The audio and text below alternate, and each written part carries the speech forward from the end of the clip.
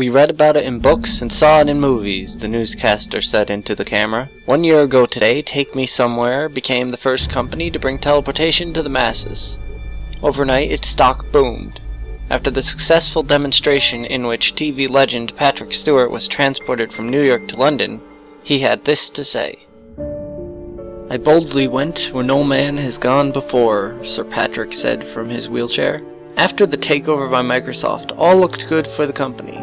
However, the Earth-wide installation project ran over budget. It meant corners were cut. CEO Sean McLeod was found dead shortly after the warehouses in the now deserted city of Detroit were discovered. Whistleblower Ming Tao came forward, revealing that, in trials, 1 in 50 transportations ended up in disfigurement.